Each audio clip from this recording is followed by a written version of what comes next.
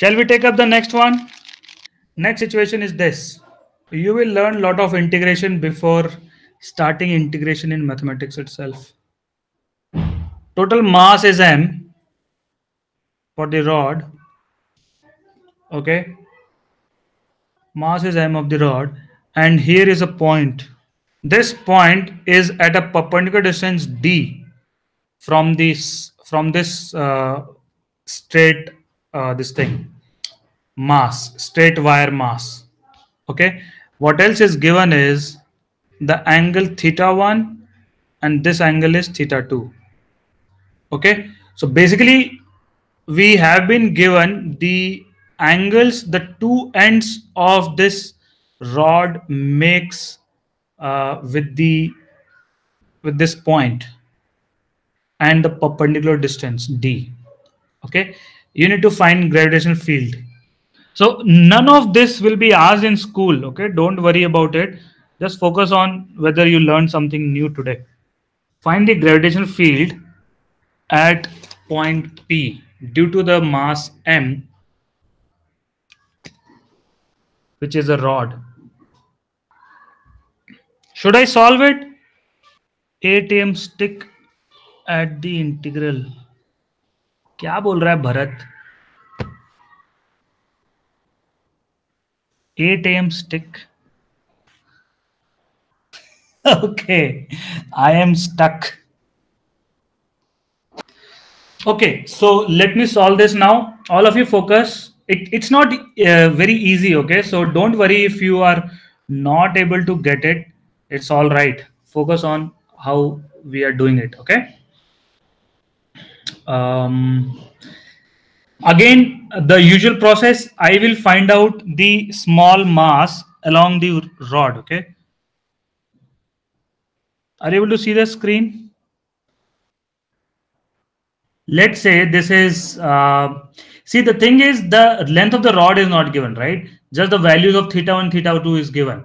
So in terms of theta let me try to find out the integral over here okay? So let's say this is phi okay this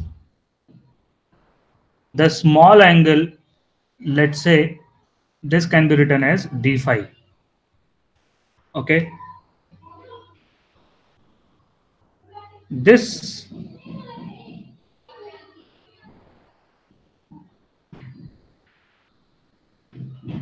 this if you uh, if i say that this is equal to let's say x okay? This will be dx. Dx is the length of a small mass which I'm considering. Okay, this is a perpendicular distance d. Okay, now field because of just this dm mass is what g into dm divided by this length. Let's say this length is r r square. This is de all of you clear? This is de now uh, there is no direct symmetry over here so we'll not uh, try to look for it unnecessary. So we'll just integrate dex this will give us ex okay and ey will be integral of dey this will give us field along y direction okay? Once you get these two fields, total field will be root over ex square plus ey square okay? And tan of angle it makes with the x axis will be tan theta equal to ey by ex all right so let's try to first get the integral e uh, dex dex will be g into dm by r square into cos of phi.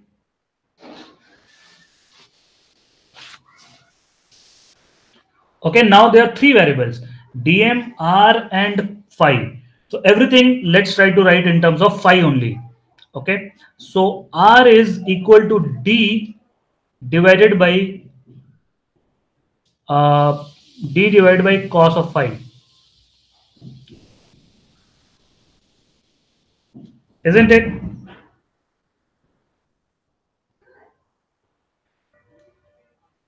Is this incorrect? R is d by cos phi. Okay. Or you can say that this is d sec of phi. All right. And dm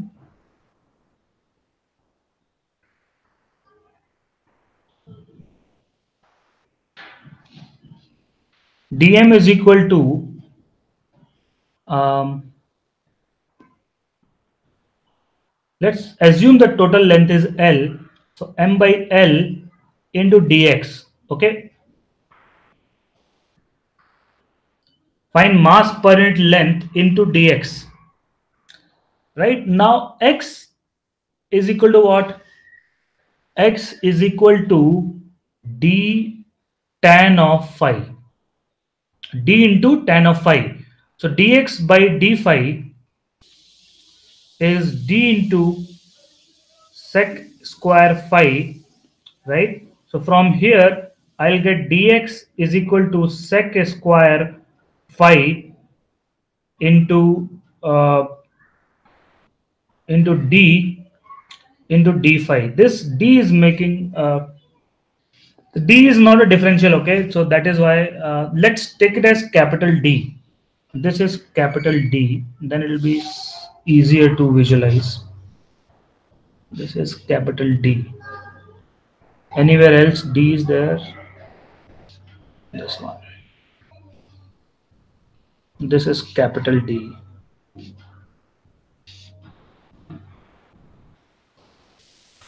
Okay. So this is dx and this is uh, this is the expression for dex. So dex will become equal to g times dm is what m by l into dx, right? So m by total length into dx, which will be sec square phi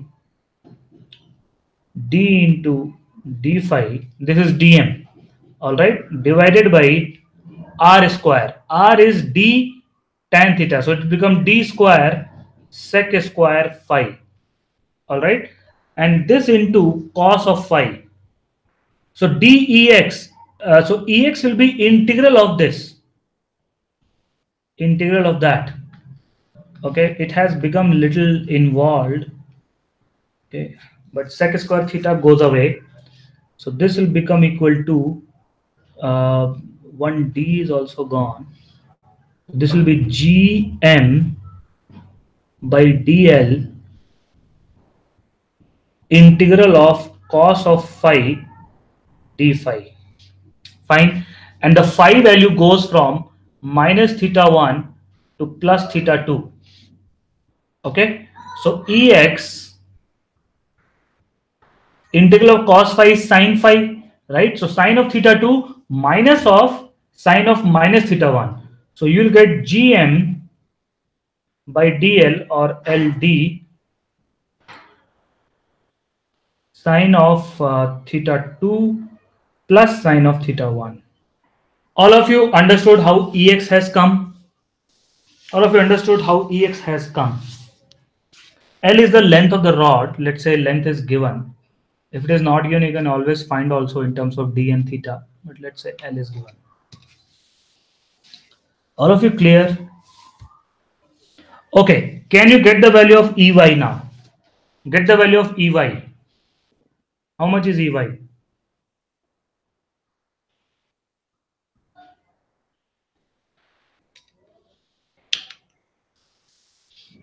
So EY, rather than this cos phi, sin phi will come. That's the only difference. Yes or no? That is the only difference. So integral of sine phi d phi will come, limits will be exactly the same. Okay. So Ey will come out to be equal to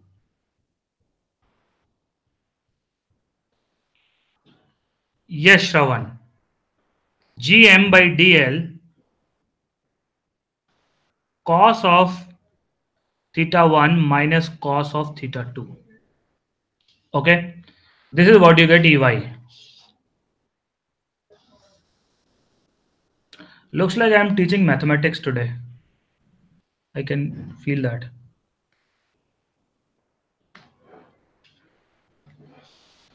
Okay, so tell me if the rod has infinite length.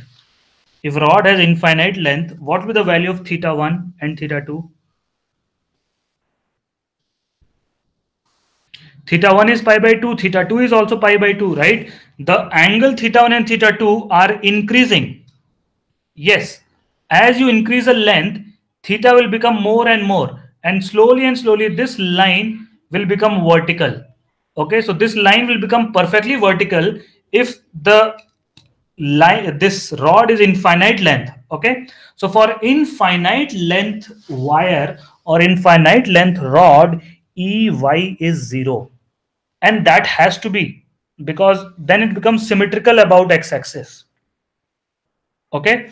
So theta 1 equal to theta 2 equal to 90 degree. So this ey becomes zero. And ex is theta 2 plus theta 1 become 2 pi by 2 pi by 2 if you substitute. So you'll get 2 gm by dl okay so like that you can get the value of field because of this because of the small uh, length of the uh, small mass length. Okay? Understood all of you?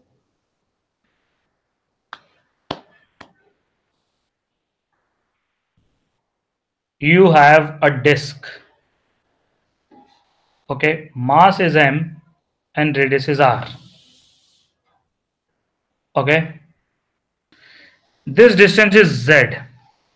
Okay? Along the axis distance is z. Okay? Now again the screen is gone. So find out the field at this point at this point, what is the gravitational field because of the disk of mass m and radius r? Okay. The hint is that you can consider the entire disk as if it is made up of concentric circles of different radii. The point is above the plane, yes, along the axis. I can't draw 3D on the screen, so that is why it may not be very clear, but it is along the axis. Yes, yes. You, you should consider the entire disk as if it is made up of uh, multiple concentric rings. So for a ring, you already know the expression, right? Use that expression over here. For a ring, we have derived the expression as G Z divided by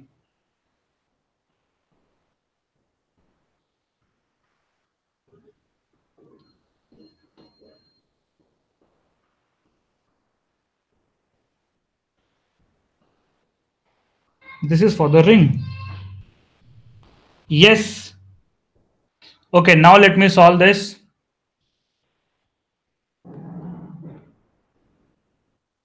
Small field, uh, small amount of field because of a ring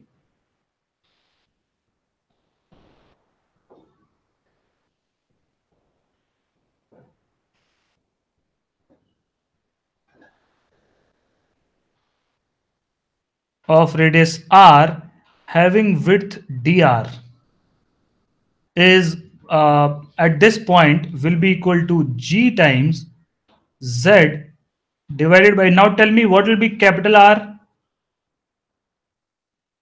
What I, I should write instead of this? Small r right? Because that is a ring. So small r square raised to power 3 by 2 m is dm. Okay dm is the mass of the ring of width dr okay? So total mass is capital m that is distributed in an area of ring uh, of a circle of radius capital r. So dm will be what? Mass per unit area that is m divided by pi r square into the area of the ring which is 2 pi r into dr all of you clear right? In case of any doubts immediately ping me okay? Don't wait. 2m by um, r square into rdr this is dm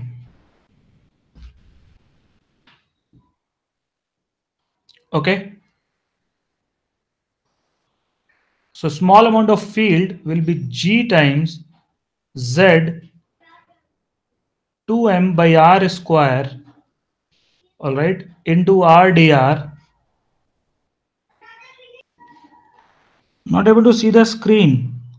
I think uh, we didn't have break today right? So continuously 3 hours maybe youtube doesn't support. Okay i think today was very heavy a mathematically very heavy class. A lot of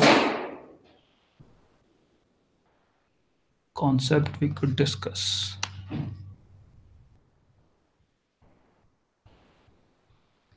Anyways so only 10 minutes. Oh it's already 120 okay we'll end at 130 all right so de um,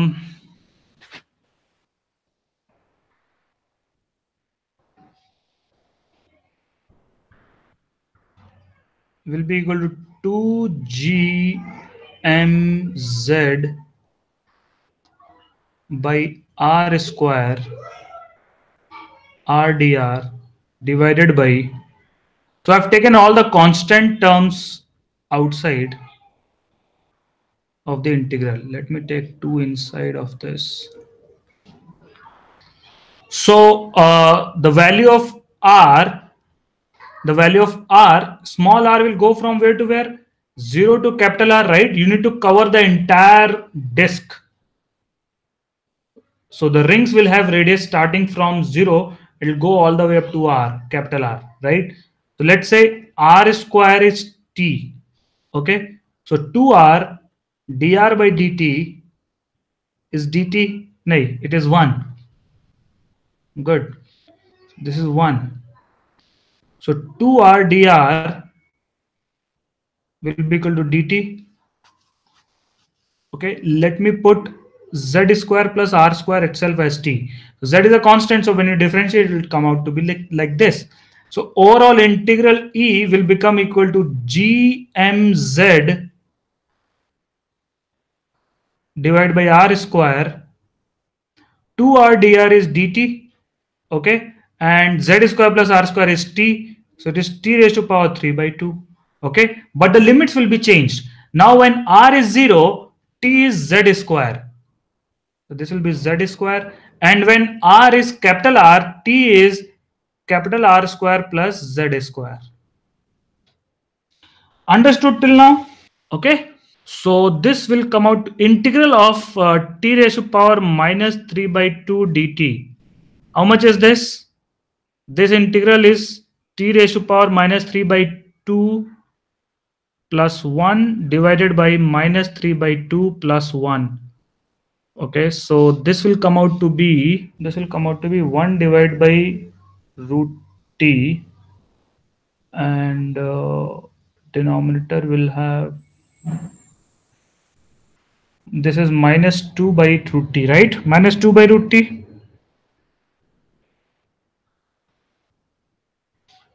So this is gmz okay don't. Gmz by r square integral is minus 2 by root t. Is there any silly error that we have done just quickly check i think not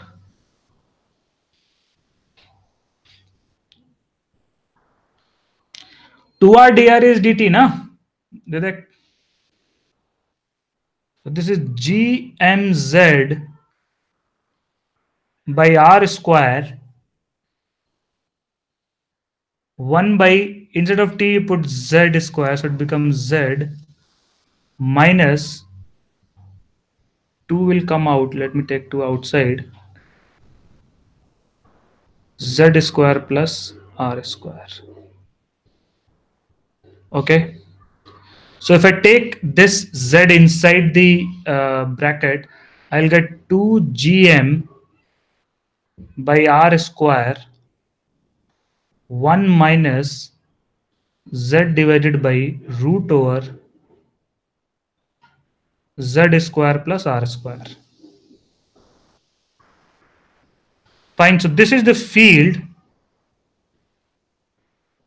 This is the field uh, at a distance z along the axis of the disk.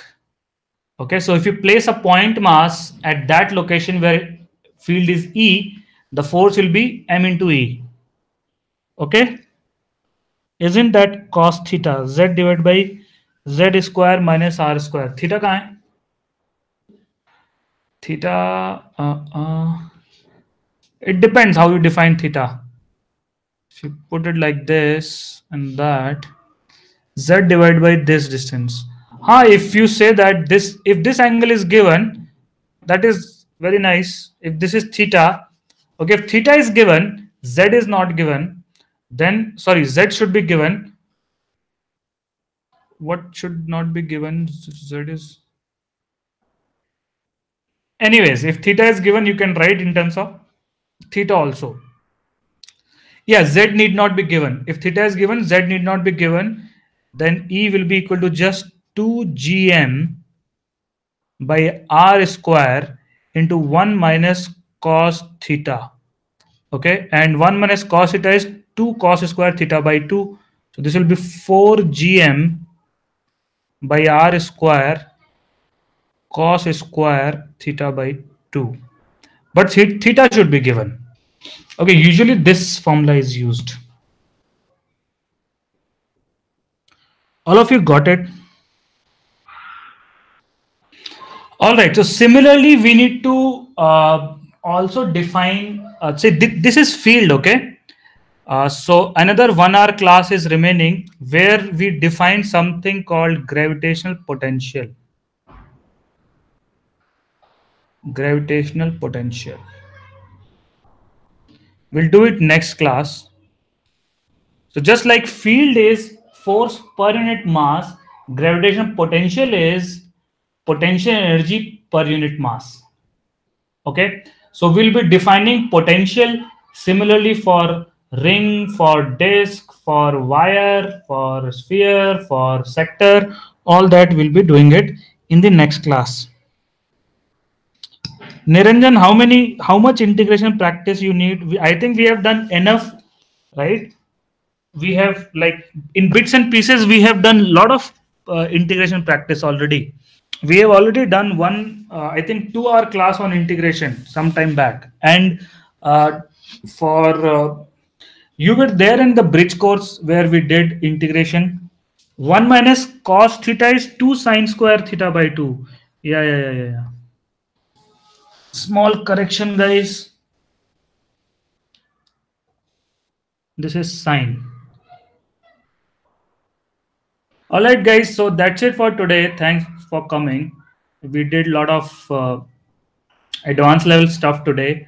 I hope it did not scare you, uh, but at the same time, don't take it lightly. Uh, make sure you spend one or two hours reading what our concept we have discussed today, because uh, no, nobody gets it 100% uh, while sitting in just in a class, right? You need to struggle at home solve few questions then only you'll master the concept. Okay? Okay bye bye see you. And like the youtube link okay in the channel hit the like button and subscribe